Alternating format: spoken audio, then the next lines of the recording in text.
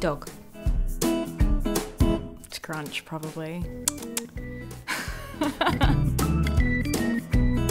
I think she's pretty into Pat Benatar, all the way.